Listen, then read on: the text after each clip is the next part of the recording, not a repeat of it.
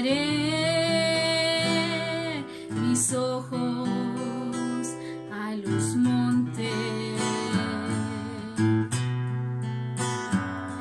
¿De dónde vendrá mi socorro?